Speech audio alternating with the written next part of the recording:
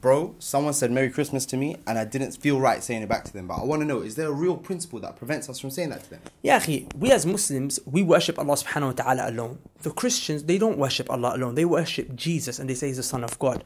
One of the ways that they worship Jesus is by celebrating Christmas, okay?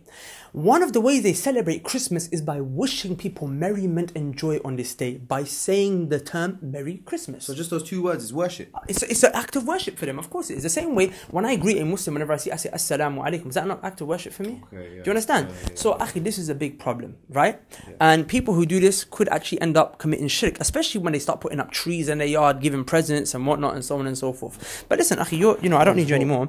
Barakallah feek. I want to let you guys know about this conference that we have called Shirkmas, the truth about Jesus Christ and Christmas. If any of you want to know the reality about the true story of how Jesus was born in the Quran, how to give da'wah to the Christians, and much more, I'll see you guys at Masjid Noor in Acton, West London on Wednesday next week. Salam.